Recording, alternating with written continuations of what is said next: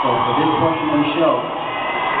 instead of mourning the death of the late great Michael Jackson, we're going to celebrate